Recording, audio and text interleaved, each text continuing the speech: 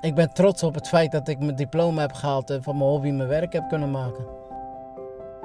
Ik ben Jamal en ik heb een koksopleiding gevolgd bij eh, de Color Kitchen.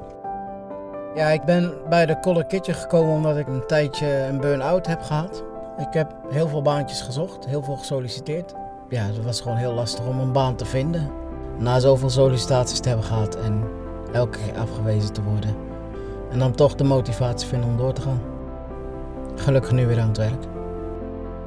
Je ziet dat gasten blij zijn en het eten lekker vinden waarmee je werkt. Ja, dat geeft me gewoon een kick om mensen gelukkig te zien en blij te zien.